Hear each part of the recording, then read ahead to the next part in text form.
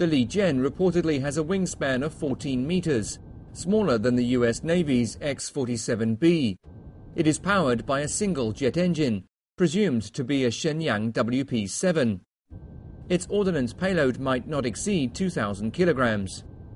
The Chinese CM506 small diameter bomb has been recommended for the Li Jian.